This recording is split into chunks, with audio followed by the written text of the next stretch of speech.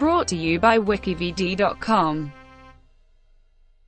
Boiler Room film. Boiler Room is a 2000 American crime drama film written and directed by Ben Younger and starring Giovanni Ribisi, Vin Diesel, Nia Long, Ben Affleck, Nicky Katt, Scott Caan, Tom Everett Scott, Ron Rifkin and Jamie Kennedy. Screenwriter Ben Younger interviewed for a job at brokerage firm Sterling Foster. Younger said, I walked in and immediately realized, this is my movie, I mean, you see these kids and know something is going on.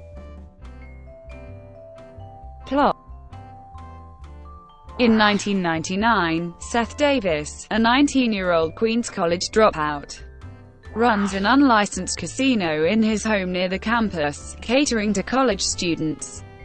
Although he earns a successful living, he is a disappointment to his father, Marty, a New York City federal judge. One night, his cousin Adam stops by the casino to play blackjack, bringing a rich associate named Greg Weinstein along with him. Greg recruits Seth to join JT Marlin, a brokerage firm based somewhere off the Long Island Expressway, promising him that he has the opportunity to get rich. Arriving at JT Marlin, Seth attends a group interview and learns from Jim Young, one of the co-founders of the firm, what is expected of his work and also how he can become a millionaire. The firm's techniques of selling are through cold calling investors to sell stock. And Seth joins as a stockbroker trainee, having to close 40 accounts and pass a Series 7 exam in order to begin working independently. The brokers love to quote insider trader Gordon Gekko from Wall Street, seeing him as a role model. He is soon making a good living, as well as winning his father's approval and embarking on a romance with Abby Halpert, a secretary and Greg's ex-girlfriend. Eventually, he learns that JT Marlin is a chop stock brokerage firm that runs a pump and dump, using its brokers to create artificial demand in the stock of expired or fake companies and speculative penny stocks. When the firm is done pumping the stock, the investors then have no one to sell their shares to in the market, and the price of the stock plummets. The FBI agents investigating the firm decide to pursue Seth, hoping to make him their informant. Seth passes his Series 7 exam and becomes a broker. He then contacts Harry Reynard, the purchasing manager of a gourmet foods company.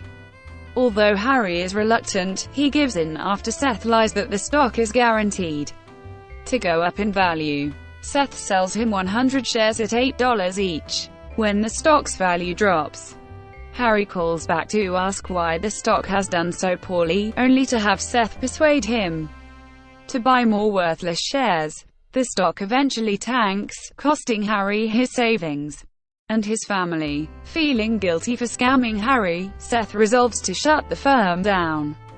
Marty then disowns him, accusing him of destroying people's lives. Seth shows up at his father's office and tearfully explains that he shut down his casino and went along with a highly criminal line of work that he thought was legal in order to gain his family's approval. He then requests that his father help him on an IPO scheme in order to rob the firm of their money and bring them down. Although Marty initially refuses due to the risk of losing his judgeship, he calls Seth the next day, reconciling with him and offering to help with the scheme. Seth is eventually arrested by the FBI for the violation of 26 SEC and NASD regulations, and is brought into their custody along with his father as the Bureau had discovered their IPO scheme from a tape-recorded phone conversation.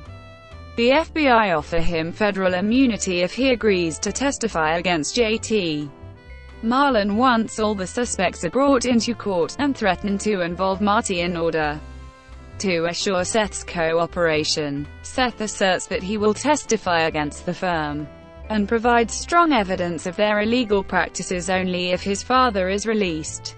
He and the agents come to an agreement on this with Seth being kept overnight only to return to work the next day and make copies of investment files onto a floppy disk to use as evidence. After that, it is implied that he will be free to go as the FBI will proceed to raid the building. And prosecute everybody else. Seth returns to work the next day and goes along with the FBI's instructions. Before leaving, Seth attempts to get Harry's money back. He lies to Michael Brantley, the company's founder, by explaining that the firm can lose a lot of money by refusing to continue to do business with Harry Reynard, who Seth makes out to be an important prospect at make-or-break point. Brantley agrees to proceed, offering him shares of the next IPO, with a caveat that he cannot sell the shares until the firm has sold off theirs. In order to sell the shares behind Michael's back, Seth needs a ticket sale signed by a senior broker. Something that his direct supervisor, Greg, has explicitly said that he would never do. He seeks a signing from Chris Varick, explaining that he may as well do one thing right in helping a severely hit investor make his money back, now that the firm will be raided and soon enough, there will be no future in continuing business at JT Marlin. Chris reluctantly agrees, and proceeds to escape the building in an attempt to flee federal enforcement. Seth walks out to his car, deciding what to do with his life now that his ties with JT Marlin are finished. As he departs in his car, several FBI cars, buses, and tow trucks enter the parking lot, with agents storming out ready to raid the building. Box office the film opened in the United States on February 18, 2000, alongside Hanging Up, Pitch Black, and The Whole Nine Yards, grossing $6.7 million on its opening weekend. Eventually, the film grossed $17 million domestically and $11.8 million in other territories, with a worldwide total of $28.8 million. Critical response Boiler Room received generally positive reviews. Review aggregation website Rotten Tomatoes gives the film a score of 67% based on reviews from 99 critics. The site's consensus is, its ending is disappointingly tidy. But Boiler Room boasts just enough sharp writing and brisk pacing to make getting there worthwhile. Thank you for watching, brought to you by wikividi.com. Please like and subscribe below.